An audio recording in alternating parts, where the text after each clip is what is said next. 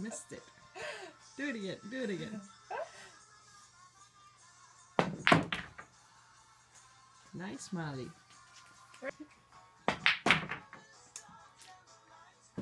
Game, set, match. Okay, so I was bored today, so I spent about 10 minutes. And as you can see, I put this tarp and a whole bunch of stuff around it. And I think you can see what I'm gonna do. I got that leaf floor. So let's see how this works. Here we go.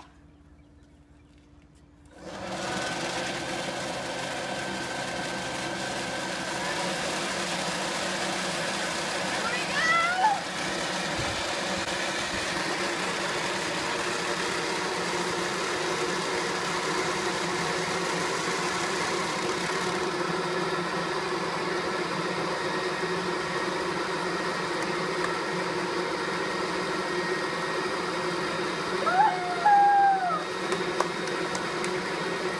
That is how you make a blob!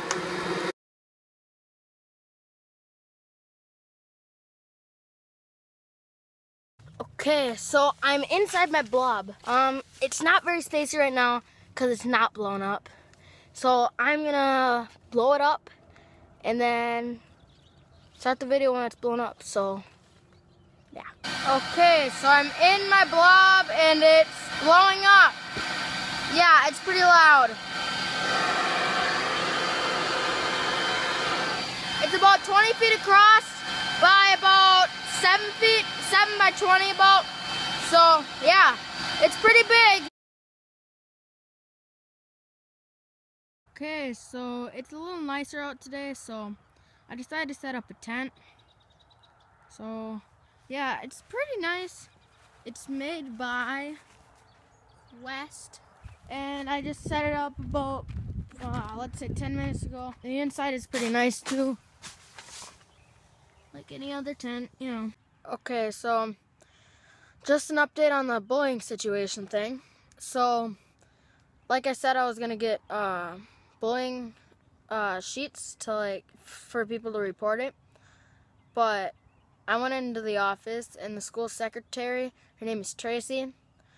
I don't know why, but she's really mean to me. So I asked if I could have some bullying sheets. She's like, "What?" And then I'm like bullying sheets. I need some because I'm gonna make a change. And then she's like, uh, absolutely not. You're gonna have to have them come in by themselves, and you'll have to just say, go into the office and fill out a sheet. I'm like, so I got out of the office thinking, why did I just walk out? But what I really want is to just like, if I just say, go into the office and she'll take care of it, well, yeah, she's kind of mean and it's really intimidating to just sit there and just be like, oh, should I say that?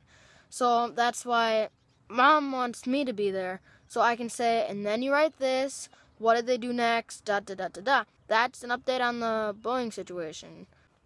Also, added to the bullying thing, there was a kid today that took my frisbee away.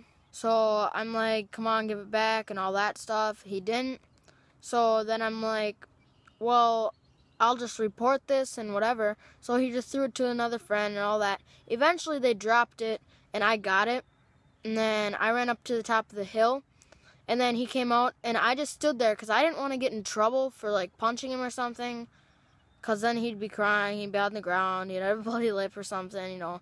Then I'd be in a whole bunch of trouble. So I just stood there and I was ready for him to throw a, a punch at me or something. So I was ready for that.